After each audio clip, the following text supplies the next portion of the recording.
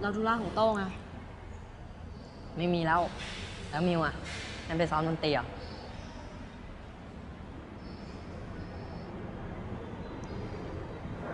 โต้งโต้งว่าเรามีอะไรที่ต่างจากคนอื่นหรือเปล่าอะ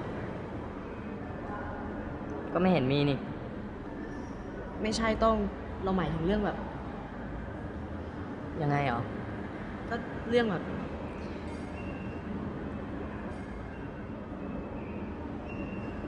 ไม่หรอก ไม่แปลกเลย